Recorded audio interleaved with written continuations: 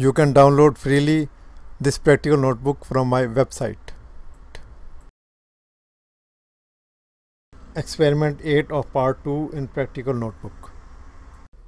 Left side page of same experiment. Welcome students. We are starting a new practical in electricity today and the name of this experiment is to determine the EMF of a cell using a potentiometer.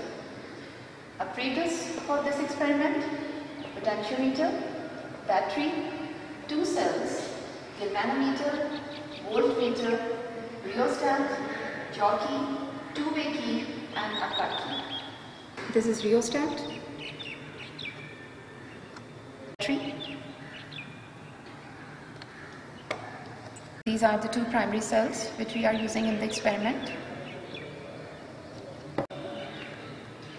This is galvanometer. This is jockey. This is two-way plug key. This is one-way plug key. In the circuit diagram, you can see that these four lines, they represent potentiometer. This one is the rheostat, one-way plug key, battery, and these are the two cells, primary cells which we are using. This portion represents two-way plug key. This is galvanometer and this galvanometer it is connected with the jockey. Coming back to the apparatus. Now we will connect all these components in our circuit. Here you can see that with this potentiometer, with the terminal B, we have connected through this wire, we have connected rheostat and the terminal C of the rheostat, it is connected through the wire with this plug key. Other end of the plug key is connected with the battery and you can see that this is the negative terminal of the battery. Now the positive terminal of the battery is connected with end A. Now then here this whole circuit it is connected all these four components this rheostat, rheostat, plug key, battery and this potentiometer they are connected in series. Now we have to connect the two primary cells. Positive terminals of these two primary cells they have to be connected with this terminal A. Then the negative terminals of the cells they are connected with these extreme ends of the two-way plug key.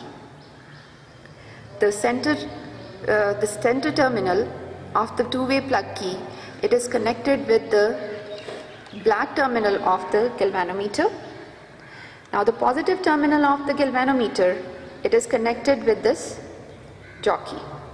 Students, for our performance, we have to check whether these connections which we have made, they are correct or wrong.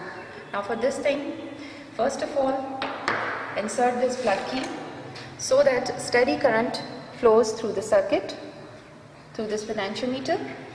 Then after that, insert this key so as to bring this cell which is E1 in the circuit. Here you can see that this key which is key K1 it is on and K2 is off. This shows that this circle this cell it is out of the circuit and this cell which is E1 it is included in the circuit. Now place your jockey at terminal B the deflection of the needle on the galvanometer, it should be towards the extreme end. But here in this case, we can see that it is not at the extreme end. So the reason might be that there uh, any connection any connection could be loose or friction or any resistance between the components. Then after that, place your jockey towards the terminal A and here in the on the galvanometer we can see that deflection of the needle is towards the opposite extreme end. After that we will switch on switch over the key to K, uh, K2 this will ensure that now our cell E2 is in the circuit and E1 is out of the circuit because here you can see that this key it is off. Now again we have to do the similar procedure that we have to place the jockey at terminal B. The deflection is at one side. Then place the jockey at terminal A. The deflection should be at the opposite direction, in the opposite direction. Now in assuring this that the directions of the direction of the deflection of the needle is in the opposite direction at both these terminals, this assures us that our connections they are right. Now for the performance that we have to compare EMF of a known cell with the EMF of the unknown cell. Now for this thing, from these two cells, this one it is E1, this one is E2. So we will find out EMF of cell E1 with the help of voltmeter by connecting by connecting its positive terminal positive terminal of the cell with the positive terminal of the voltmeter and negative terminal of the cell with the negative terminal of the voltmeter. Now this EMF which we have seen, which we have noted with the help of this voltmeter, that will be the known EMF and this is the cell have to find by comparing it with the EMF of the cell E1. Now for this purpose, what we will do that we will insert this plug key and by inserting the plug key this ensures that the steady current from the battery flows through this potentiometer. Now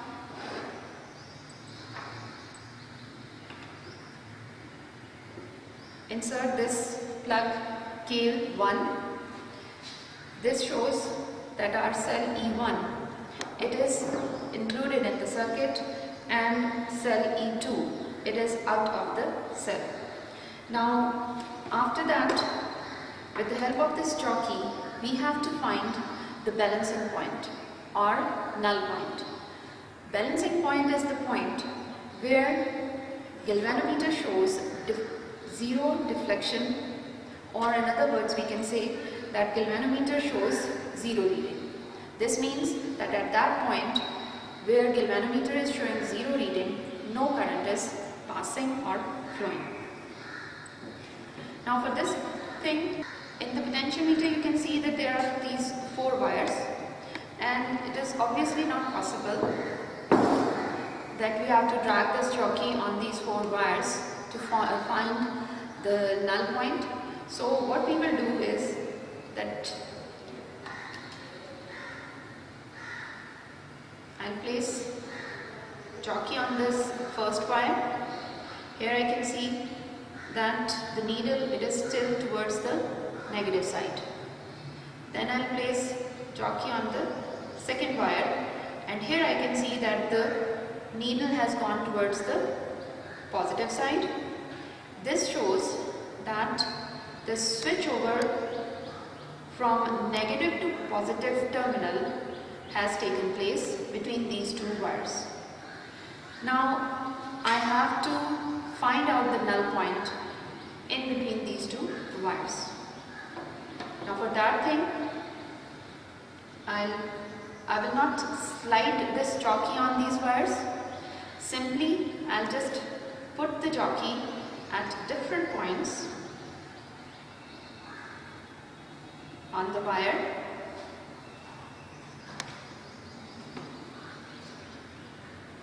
And we can see that this needle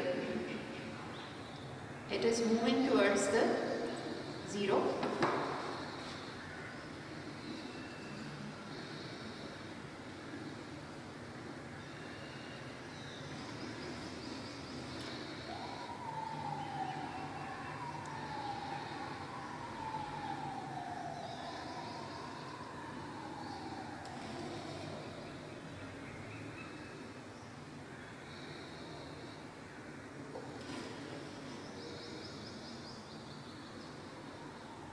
this point I can see that this needle it is almost at zero so here for this small short distance I can just drag it drag this jockey on this wire slightly to find out the zero deflection. Now here you can see that at this point our galvanometer is showing a zero reading. So after that the next step is that we have to note down this reading. So that I'll do with the help of the scale.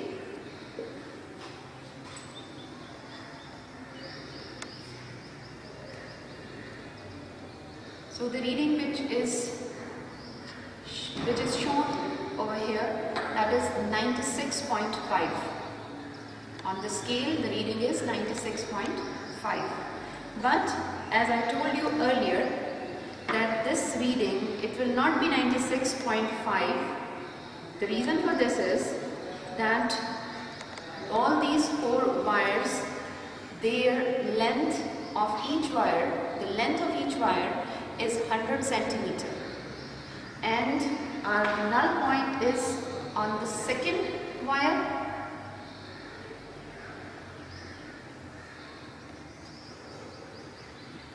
Null point is on the second wire. So for this there is a, a little technique with which you can uh, note down the reading. This first wire it is of 100 centimeter. Second wire is of 100 centimeter. Now 100 and 100, 200 and here you can see that this third wire which is again of 100 centimeter but on the third wire the null point is at 96.5 centimeters. Now the easy way of noting down this length is that you know that each length of this wire it is 100 centimeter. So these this is 100 centimeter, this is 100 centimeter, so it is 200 centimeters and our null point lies on the third wire at 96.5. So subtract this 96.5 from 100 and we get 3.5. So this 3.5 will be added in this 200. So the total or the final reading will be 200 and, uh, 203.5 centimeters. And this will be our first length which is L1. So we will note down this reading L1 in our table.